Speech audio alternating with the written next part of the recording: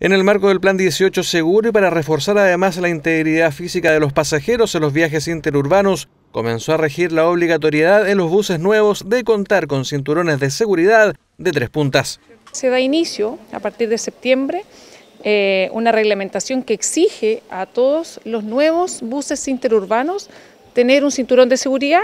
de tres puntos, lo que eh, sin duda aumenta y mejora la seguridad de los pasajeros en el tránsito. ¿Ya? Esto es, una, es un tremendo hito a, nivel nacional,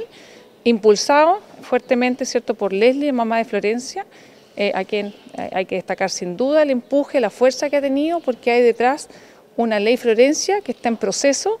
eh, y esto marca el inicio, digamos, de este profundo cambio a través de la legislación y la normativa del Ministerio de Transporte y Telecomunicaciones. Y ya lo señalaba la Ceremi, parte importante en la gestión de esta nueva reglamentación recae en la señora Leslie, quien tras eh, sufrir la pérdida de su pequeña hija Florencia en un accidente, ha luchado fuertemente por mejorar las medidas de seguridad en el transporte. Estamos acá, bueno, en una actividad que la verdad nos llena de orgullo y nos da la esperanza, ¿cierto?, que comiencen a generarse cambios a nivel nacional, ¿cierto?, en relación a la seguridad vial de nuestro país.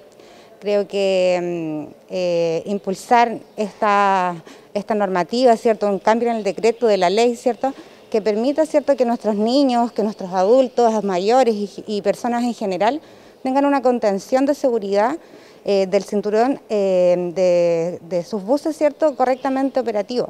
medida que será fiscalizada por carabineros y personal de transportes, existiendo multas asociadas de no contar o no usar el cinturón durante los viajes. Recordar también que el año pasado ocurrieron aproximadamente 174 eh, accidentes en donde participaron vehículos de transporte de pasajeros en nuestra región, por lo tanto eh, nosotros también como carabineros queremos disminuir obviamente eso, esos datos y eh, generar una disminución también en las consecuencias de estos accidentes, lamentablemente el fallecimiento de las personas y las lesiones. Entonces, obviamente los esfuerzos están enfocados siempre